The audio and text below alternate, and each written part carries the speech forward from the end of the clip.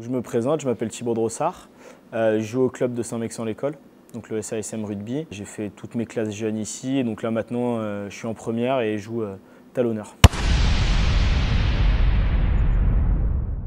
Je suis arrivé au rugby dans un premier temps par mon frère, qui a commencé donc pareil ici dans ce même club tout jeune. On a eu envie de venir ici grâce à notre oncle qui a joué à un haut niveau, qu'on a été voir jouer quand on était plus petit. Et donc euh, c'est pour ça, euh, j'ai commencé par un entraînement de foot qui m'a pas plu, je suis tout de suite venu au rugby et euh, depuis j'ai pas lâché. Le fait que quand j'ai essayé le foot, tout de suite on m'a dit que j'étais trop brut et que les contacts fallait que j'arrête. Donc c'est pour ça que tout de suite au rugby ça m'a plu. Et j'ai eu la chance d'avoir de bons entraîneurs avec qui j'ai gardé de bons contacts et avec qui j'ai évolué pendant beaucoup d'années, ce qui m'a permis aussi, je pense, de, de rester ici et de continuer le. J'ai commencé avec une bande de copains depuis tout petit que j'ai gardé jusqu'en moins de 18, avec qui on ne s'est pas lâché, euh, avec qui je m'entendais très très bien, on était quatre.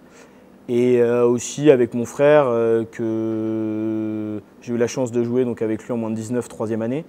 Et là maintenant avec lui en senior. J'ai eu la chance de jouer avec mon frère et je joue encore avec lui.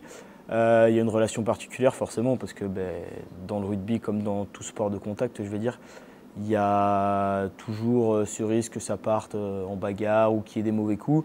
Et donc forcément, oui, quand c'est un joueur de l'équipe qui le prend, donc forcément, ça énerve et on touche pas un mec de l'équipe, mais encore plus quand c'est, quand c'est son frère, il y a un supplément et il y a quelque chose en plus.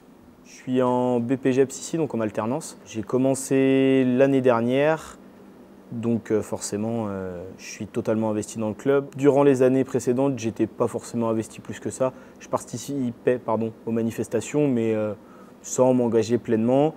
Et vu que j'ai voulu faire un BPGEPS, j'ai tout de suite proposé à mes présidents l'idée, ce qui a été validé. Donc maintenant, je suis alternant BPGEPS ici depuis septembre et ça se passera très bien.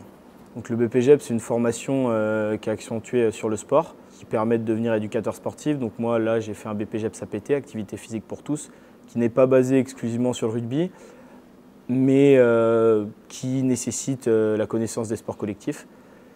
Et donc je gère ici une équipe de moins de 12, donc depuis cette année. Et ça se passe très bien, c'est-à-dire les entraînements sont le mardi et le samedi matin. Il y a toutes les compétitions. Et euh, ensuite, avec euh, ma tutrice qui est Maëlle, on fait des interventions dans les écoles euh, pour promouvoir le rugby. Et encore plus cette année, au vu de la Coupe du Monde qui va arriver cette fin d'année 2023.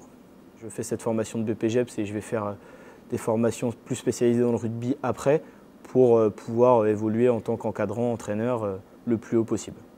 Une anecdote en particulier, oui, c'était lors de ma, mon année de moins de 19 où j'évoluais avec mon frère. Euh, on a eu la chance d'aller faire des phases finales donc, euh, après euh, la phase régulière de la saison, d'aller plus loin. On a été donc jusqu'à Guéret pour jouer un match. Déjà, particularité, mon frère prend un KO et donc sort sur civière avec camion de pompier, donc c'est quelque chose qui marque forcément. Après, donc on gagne ce match dans les arrêts de jeu avec une séance de tir au but qu'on voit très rarement au rugby, donc euh, doublement marqué. Et pour finir, euh, quelque chose qui, était, euh, qui m'a aussi marqué, c'est le fait qu'on du coup, on aille attendre mon frère à la fin de, ses, de tous ses examens à l'hôpital avec toute l'équipe sur le parking en train de faire un barbecue et en train de boire des bières. Donc toujours un moment sympa en l'attendant. Un joueur préféré, c'est un grand mot. Je vais dire un joueur que, dont j'aime bien son style de jeu.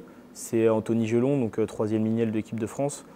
Euh, c'est quelqu'un qui est euh, dans le combat, toujours très important dans les matchs, notamment dans les grands matchs où généralement euh, ça tape fort et donc lui il est toujours présent.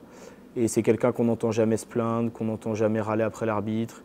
Et c'est quelqu'un qui, pour moi, fait partie des meilleurs joueurs du monde à l'heure d'aujourd'hui. Et si je pouvais souhaiter quelque chose, ça serait déjà de se remettre de sa blessure du temps à destination, qu'il arrive en forme euh, pour la Coupe du Monde et euh, qu'il nous fasse beaucoup de bien. Exactement, j'ai réussi à avoir euh, deux places pour le match d'ouverture, que je vais voir donc avec mon frère, donc France-Nouvelle-Zélande.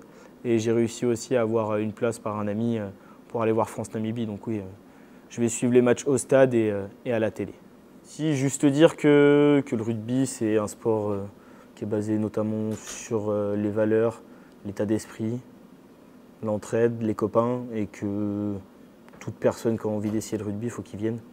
Certes, ça peut ne pas lui plaire, mais en tout cas, l'état d'esprit, euh, j'ai fait beaucoup de sports, autres, pas en club, mais grâce à les associations, notamment au collège ou au lycée.